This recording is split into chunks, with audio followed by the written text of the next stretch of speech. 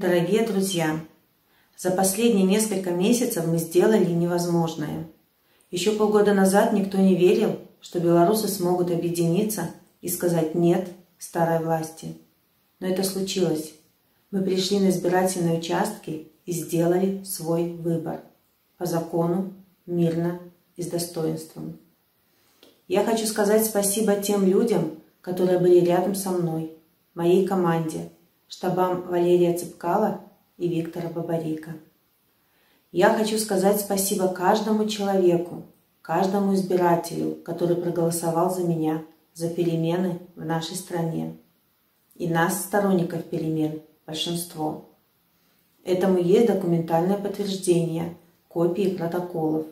Там, где комиссии посчитали голоса честно, моя поддержка составила от 60 до 70%, а в Новой Боровой 90%. Белорусы никогда больше не захотят жить с прежней властью. В его победу большинство не верит. Мы всегда говорили о том, что защищать наш выбор нужно только законными, ненасильственными способами. А мирный выход граждан на улицу власть превратила в кровавую бойню. Ситуация критическая. Я с болью смотрю на то, что происходит в нашей стране в последние дни. Для меня, и я уверена для каждого из нас, сторонников перемен, человеческая жизнь – это самое ценное. Нам нужно остановить насилие на улицах белорусских городов. Я призываю власть прекратить это и пойти на диалог. Я прошу всех мэров городов 15 и 16 августа выступить организаторами мирных массовых собраний в каждом городе.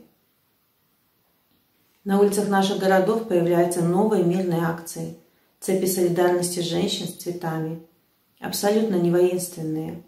Они показывают всему миру, что мы, белорусы, открытые, честные люди, и мы против насилия. Я благодарю сотрудников, которые отказались выполнять преступные приказы против своих граждан. Я хочу поблагодарить тех, кто уже не побоялся и объявил забастовку. Спасибо работникам БМЗ, электротехнического завода, МАЗ, IT-компаниям из ПВТ и другим коллективам, кто присоединился. Давайте вместе защитим наш выбор. Подпишитесь за то, что вы голосовали за меня, Светлану Тихановскую. Ссылка будет под видео. Пожалуйста, не оставайтесь в стороне. Наши голоса должны быть услышаны. Основа всех этих так называемых протестующих – люди с криминальным прошлым и сегодня безработные.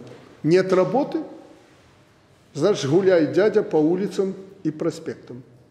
Поэтому я по-хорошему прошу и предупреждаю всех устроиться на работу. Те, кто не работает. И хочу предупредить некоторых наших, мягко говоря, обуржуазившихся граждан. Не дай бог, кто-то кому-то будет выдавать липовые справки о трудоустройстве.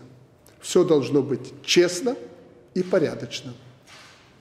Прошу правоохранительные органы и государственные структуры обеспечить исполнение этих указаний.